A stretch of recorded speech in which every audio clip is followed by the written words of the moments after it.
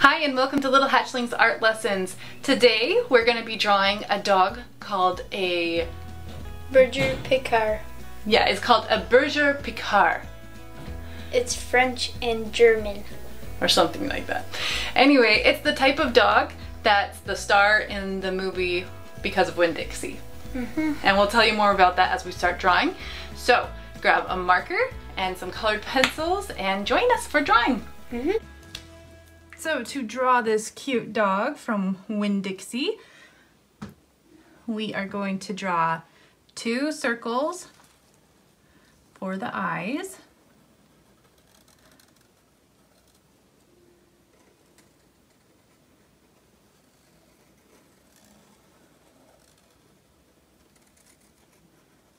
And try to make them around the same size as each other.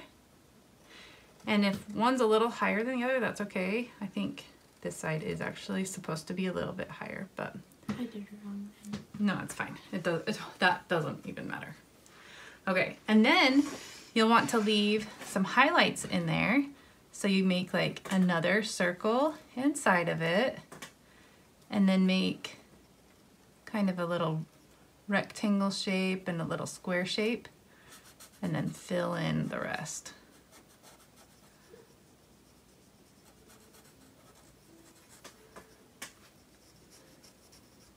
Then the I same. my rectangle too as well. That's okay. Reflections can be totally however.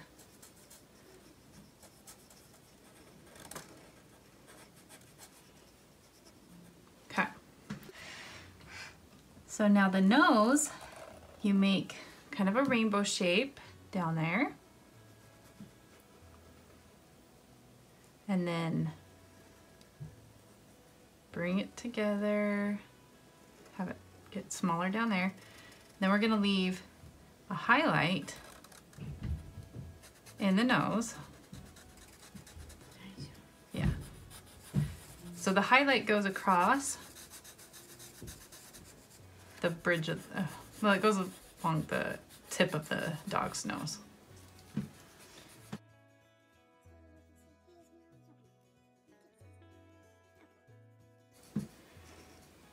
All right, so right here, we're gonna draw some cute little tufts of fur and it can kind of go up and then down. You can add just little lines. Cute. And then, bless you. Under this eye, we're gonna draw these little dark furry patches. And then under this eye too. And then right above this eye, we're gonna draw that little patch of fur that little patch of fur. Some more fur.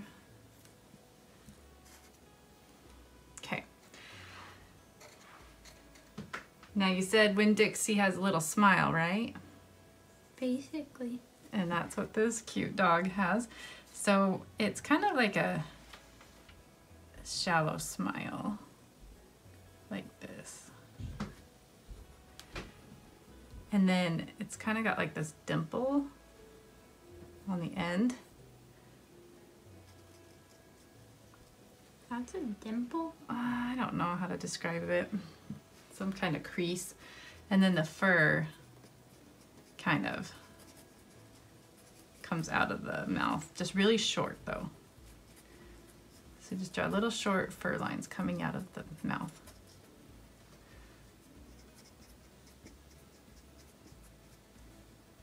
That's cute, buddy. Okay. And then there's a little patch of fur there. I mean, there's fur all over his face, but there's just specific spots we're gonna draw it on. Like along here. And here. And here. And here. So we've got one tuft here and then he has so much hair inside the ear that there's not like a specific ear spot like there is on other dogs. But his ear is a triangular shape and just with jagged furry lines you go up and then as you come back down the fur goes out that way.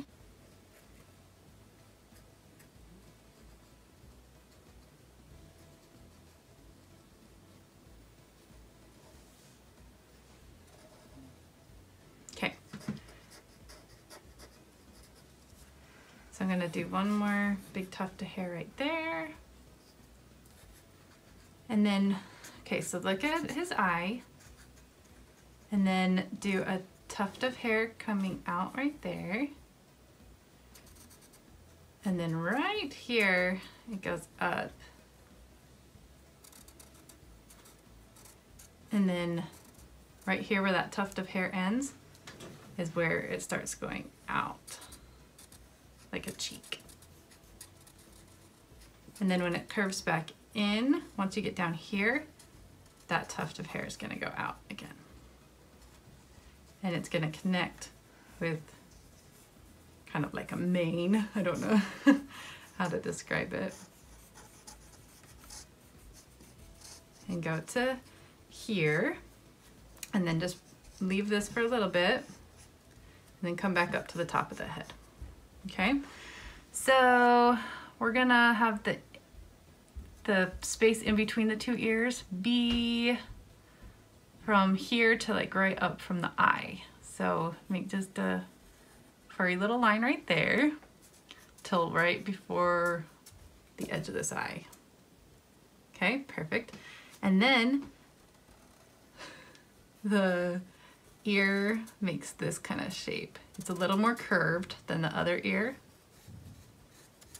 Comes in and then the tufts of hair go down right here. And then right when you're about to the eye, it goes in again. And then you'll curve it for a cheek. And then bring it down in again. And it comes out for to meet up with that mane. Okay. And then I need to erase. no, it looks so good. Okay, now we're gonna do a tuft of hair this way.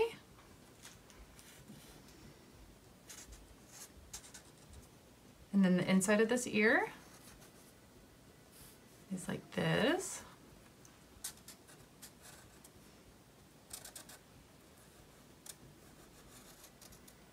And then one more right here.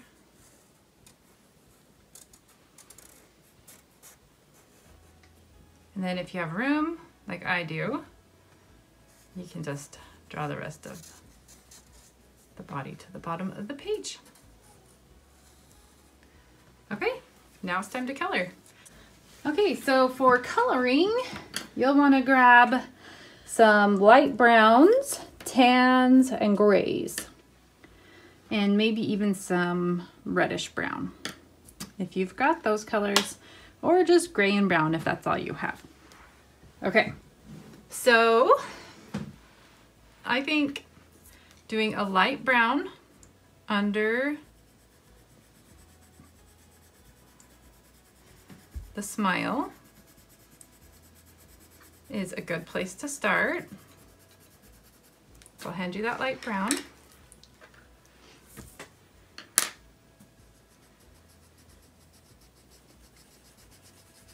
And then for the bright spots, I'm using a tan.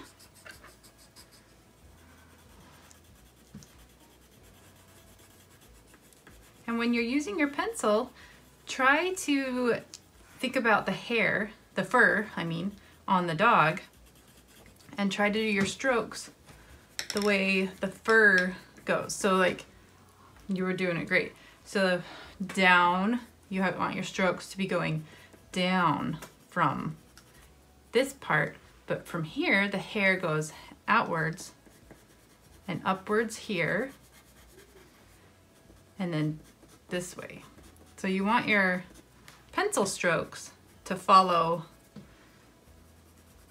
the hair strokes, the hair pattern, okay? So here's the tan back. And then there's a lot of gray and we're gonna use it as shadow. So like color hard on your gray, like especially right here.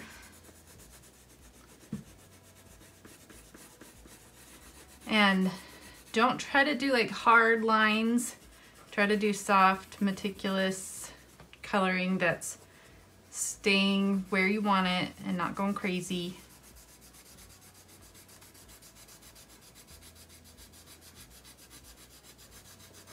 Because you want the fur to kind of all blend together.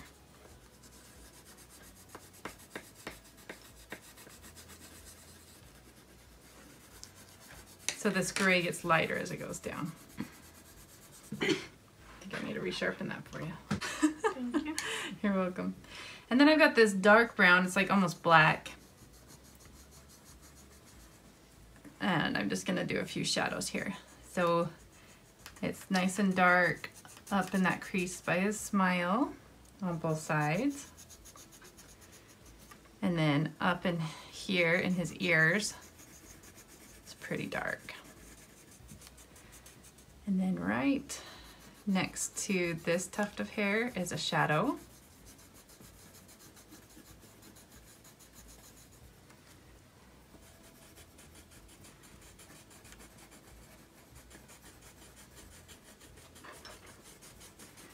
And here is a shadow.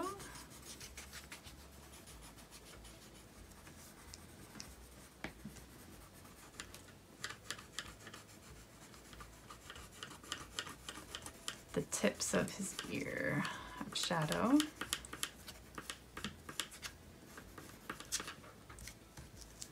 There's a little shadow under here. So just like follow my shadows that I do.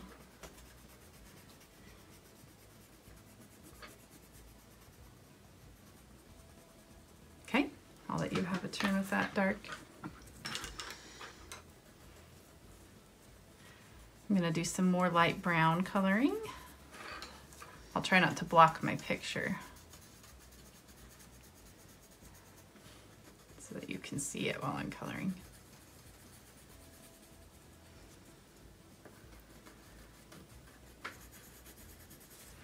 So what do you remember about this book?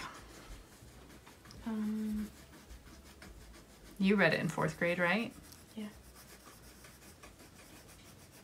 I remember when she found Winn Dixie in the market.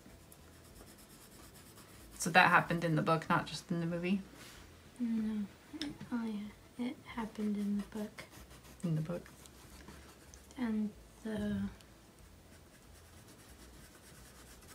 the store was called Winn Dixie, I think. Oh, that's funny. And she um he was a stray dog. hmm And she made up a name so that the manager wouldn't do something with him. And she said that he was hers. Oh, that's so sweet. So I just wanted to give a quick shout out to the kids, the fourth grade kids over at Salina Elementary. They just finished reading Winn Dixie, and that's what inspired us to actually draw this today. So thank you, and I hope you're having fun drawing with us. I'd say there's even some yellows in it if you want to do any yellow.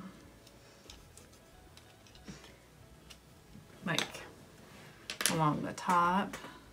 I, think there's a bit on the edges.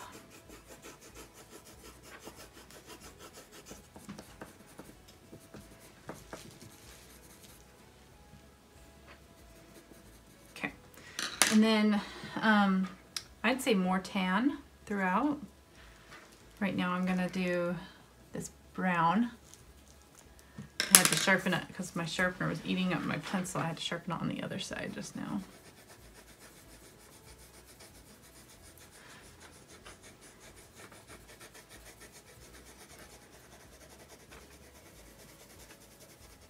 Do I just do this everywhere? I'd say so. So your shadows often will go like behind where we've drawn these tufts because the tufts are kind of representing where a highlight meets a shadow.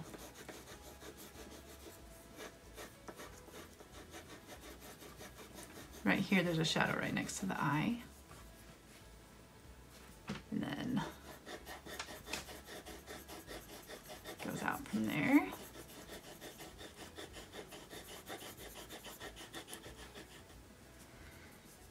And same with right here, kind of has a shadow right next to the eye.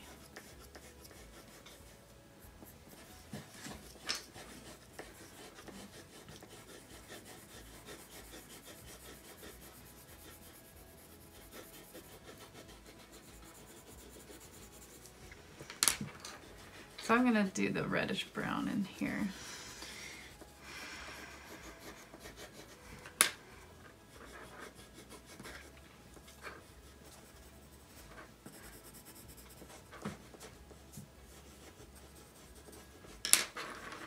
And then I'd say under this mouth is even darker than we've done it.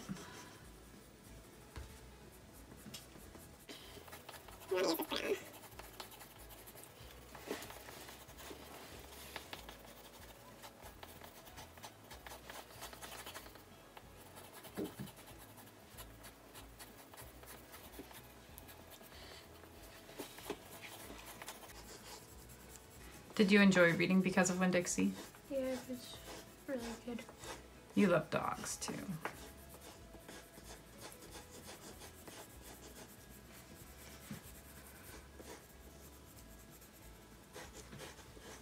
Oh, I almost forgot. This is actually dark right here. How did I forget that?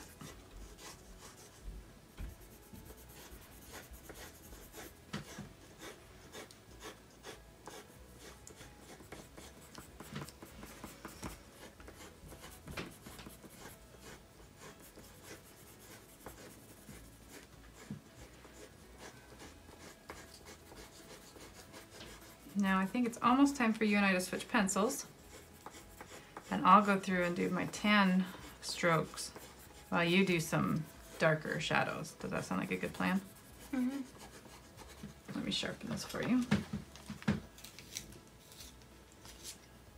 Oh yeah, that's good.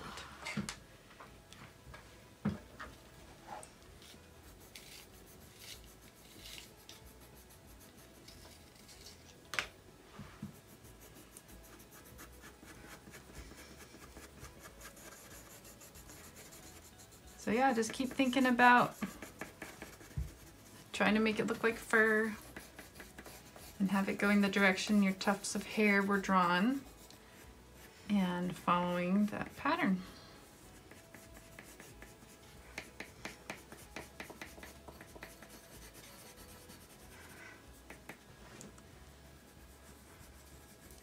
And if you need time to catch up to us,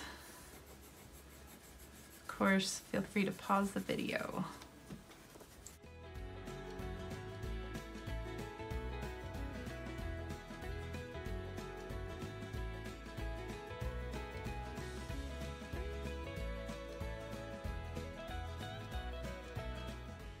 I'm gonna do a bit more gray. And the way I'm gonna do it is I'm just gonna lightly draw my gray strokes so that instead of it being a shadow, it's just laying down a nice light gray first stroke.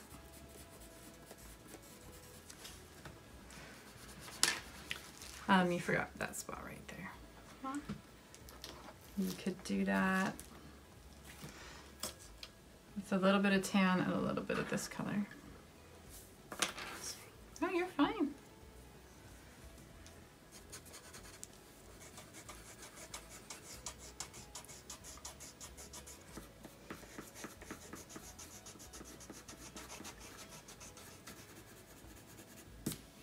Like that?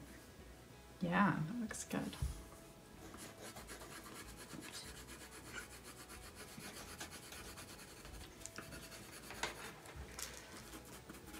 Do I need more yellow spots in here since I have a few? No. It's fine.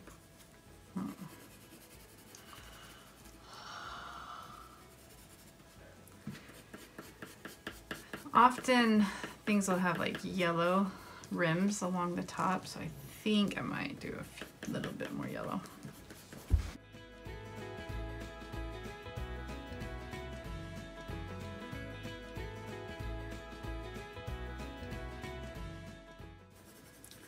Okay, what do you think? It's really good. Think we're done? Yeah. Okay. Thank you so much for drawing with us. Make sure you subscribe to our channel so you don't miss our future videos. Mm-hmm. All right, we'll see you later. Bye.